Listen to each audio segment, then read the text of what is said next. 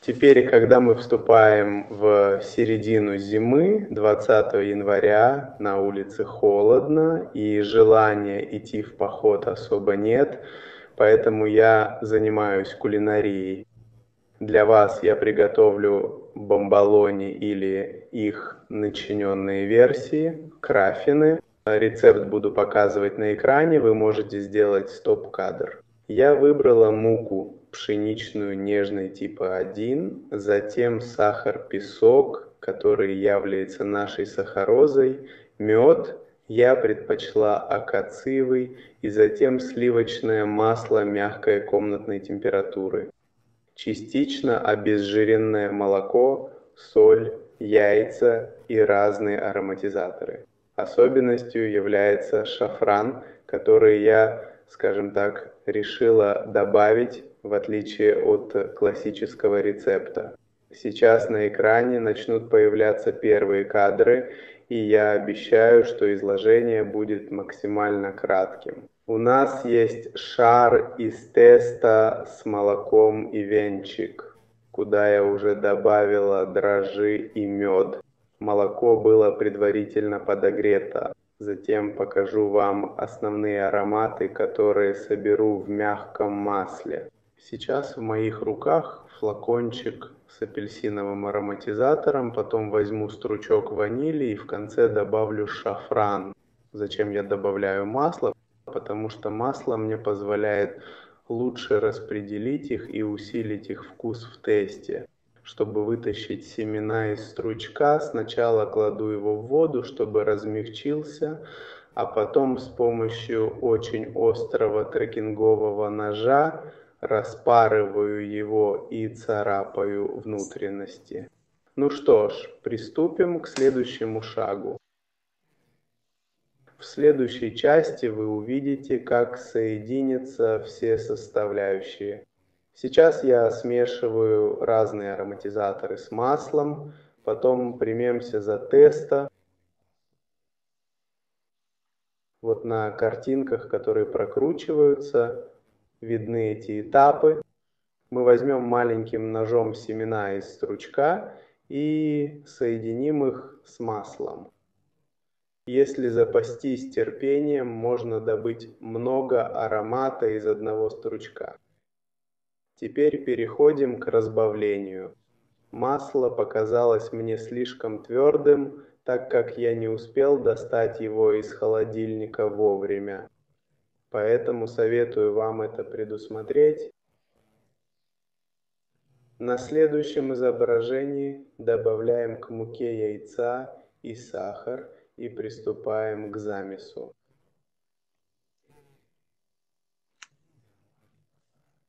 Как видите, я сначала стараюсь хорошо перемешать муку со сахаром, а потом только добавляю яйца.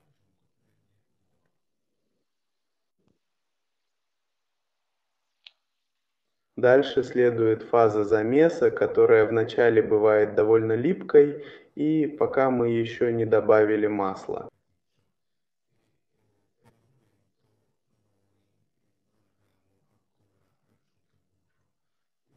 Так что мы смешиваем муку и шафран только с молоком и яйцами.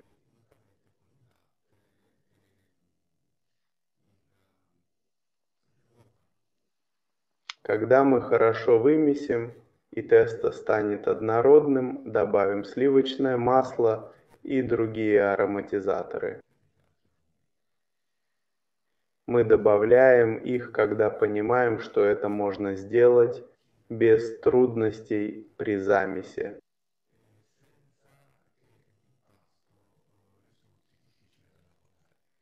Затем переходим к стальной рабочей поверхности, чтобы добавить сливочное масло.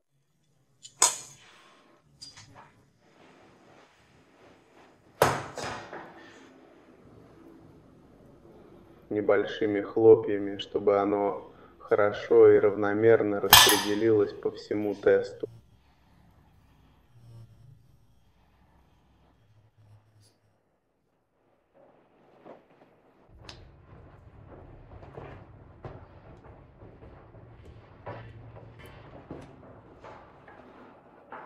Терпение, нам долго придется над ним работать, пока оно снова не станет однородным.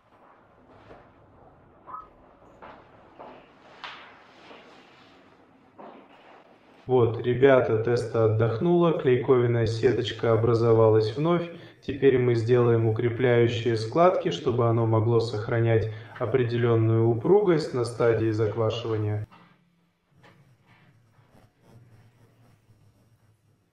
Понятно, тесто всегда очень влажное, ведь там есть масло, и с помощью нашего инструмента нам следует помогать себе отделять его чтобы раскатывать вновь, насколько это возможно, до того, как делать новые складки.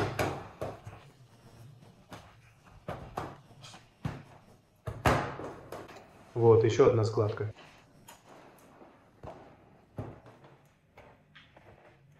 Именно таким образом мы всегда расследуем. Теперь дадим ему немного отдохнуть, прижмем и подождем.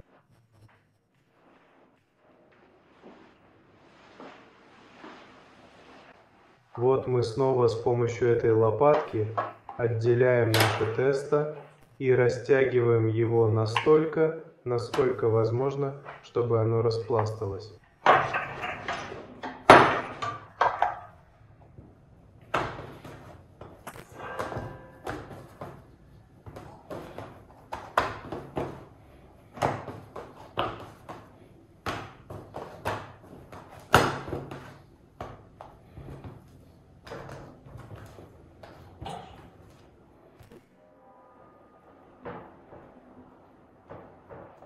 Сейчас тесто практически высохло, оно еще немного сохраняет свою липкость.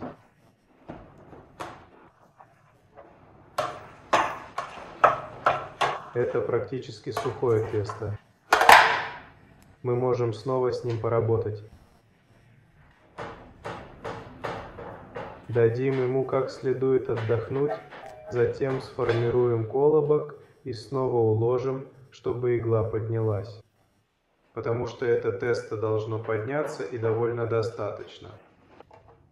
А потом я сделаю небольшую перлатуру, как и в хлебе. Вот оно. Это называется перлатура.